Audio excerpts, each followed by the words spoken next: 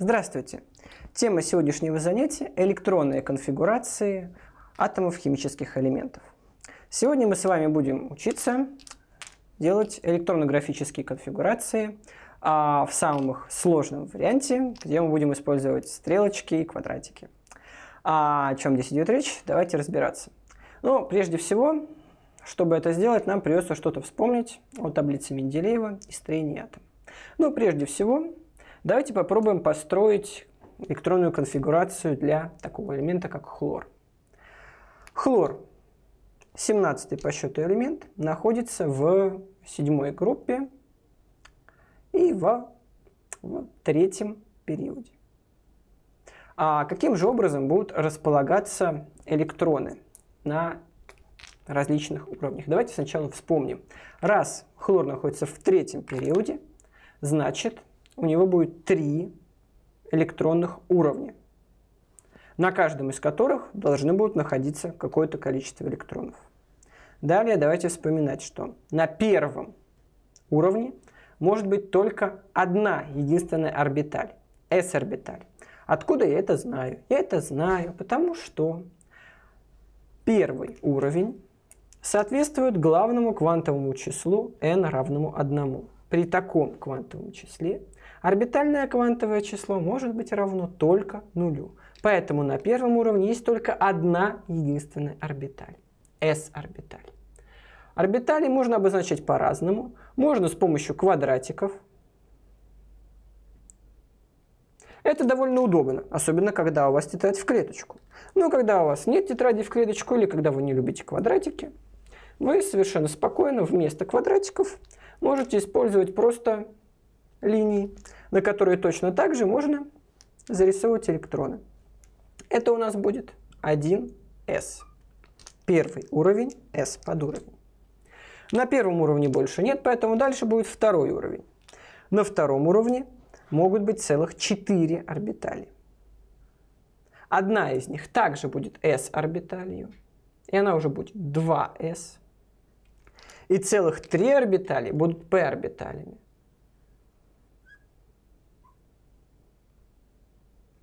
Все это я знаю только потому, что я знаю, как работают квантовые числа. Для квантового числа 2, которое соответствует второму уровню, возможны два значения орбитального квантового числа, равное одному, это s орбиталь, и равное, равное нулю, это s орбиталь, и равное одному, это p орбиталь. Соответственно, s орбиталь может быть только одна, потому что для орбитального квантового числа 0 магнитное может быть равно только нулю. Для L равного 1 m может быть минус 1, 0 и 1. Три значения, три одинаковых вырожденных орбитали в рамках одного подуровня. Ну, только извините, пожалуйста, здесь, конечно же, тоже 2p, это же один уровень. 3p у нас будет только на следующем уровне, вот на этом, где у нас будет 3s орбиталь и также 3p орбиталь. Каким образом 17 электронов хлора расположатся на этих уровнях? Они расположатся в соответствии с несколькими законами, о которых, я надеюсь, вы также помните. Первое – запрет Паули, который говорит, что на одном уровне, ну, точнее говорит, что не может быть двух электронов с одинаковым набором квантовых чисел. То есть я не могу на один уровень записать два электрона, две стрелочки, направленных в одну сторону. Направление стрелки вверх или вниз – символизирует спин электрона, плюс 1 вторая или минус 1 вторая. Он должен быть в рамках одной орбитали разный двух электронов. Второй закон говорит о том, что орбитали должны заполняться в порядке увеличения их энергии. Чем ниже у нас находится наша орбиталь, тем ниже ее энергия. Те, которые находятся на одном уровне, равны по энергии. Иногда орбитали одного уровня пишут вместе, но тогда этот эффект несколько пропадает. Поэтому, конечно, лучше писать их вот так. Но в то же время понятно, что высоты листа или пространства в целом может не хватать, поэтому иногда пишут все на одном уровне. Даже иногда не вводят вправо, пишут все одно над другим. Ну, вообще, конечно, с методической точки зрения правильнее записывать именно так. Ну, давайте посмотрим. Должны орбитали все заполняться по порядку. На первой может быть максимум два электрона. Вот мы их с вами и изобразим. Причем направлены стрелки должны быть в разные стороны. Условно, стрелка вверх спин 1 вторая, стрелка вниз спин минус 1 вторая. На втором подуровне, на 2С, то же самое. На 2P, опять-таки, происходит та же самая ситуация. 2P ниже, чем все остальное. Электронов, которые нам надо заселить, осталось еще 13. Они все должны поместиться здесь. Каким образом заполняются орбитали, где несколько точнее подуровни, где несколько орбиталей, они заполняются в соответствии с правилом Хунда. Сначала все орбитали заполняются электронами с одинаковым спином. Затем уже любая из них, начиная с любой из них, они заполняются другими электронами. Ну, стресс, я думаю, уже все понятно. Еще раз к 3P. Можно начать с того, что направить все три электрона вниз. Главное, чтобы они были направлены в одну сторону. Далее, давайте посмотрим, сколько электронов осталось. 2 плюс 2 плюс 6 это 10, и еще 2 это 15, а еще 2 это 12, еще 3 это 15, осталось еще 2. Где будут эти еще 2? В любой из оставшихся. Здесь, например, и здесь. Где хотите. Все три орбитали одинаковые. Неважно, в какой из них электрон будет направлен, неважно, в какой из них электрон будет один, и неважно, в какую сторону будет направлен. Это будет правильно, в любом случае. Да, поэтому если вы знаете, что уровень заполнится полностью, можно его смело заполнять. А вот если он заполняется не полностью, допустим, ситуация, когда на трех орбиталях должны находиться два электрона. Их можно расположить, ну, например, вот так. Пожалуйста, можно.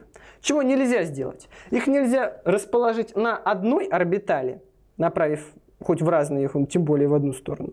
Их нельзя расположить в разном направлении.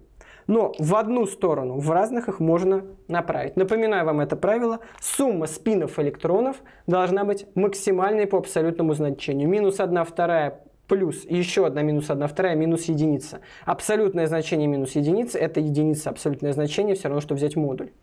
Соответственно, единица. Если мы расположим как-то иначе, так что, например, этот электрон будет направлен в другую сторону, то у нас получится 0. 0 меньше единицы. Напишем их в одной ячейке, они опять будут направлены в разную сторону, опять в сумме будет 0, опять будет меньше единицы. Не подходит. Все остальные варианты, которые дают единицу, могут быть. Ну, вернемся к кальцию. Давайте посмотрим, как заполняются его электронные уровни и подуровни. Кальций находится уже в четвертом периоде, значит, у него будет уже 4 электронных уровня. Ну, давайте, значит, вновь сначала посмотрим, какие же у него будут орбитали. А у кальция, давайте так начнем прямо отсюда, точно так же, точно так же будет уровень 1s. Далее у него будет 2s и 2p. Так, дальше идет 3s,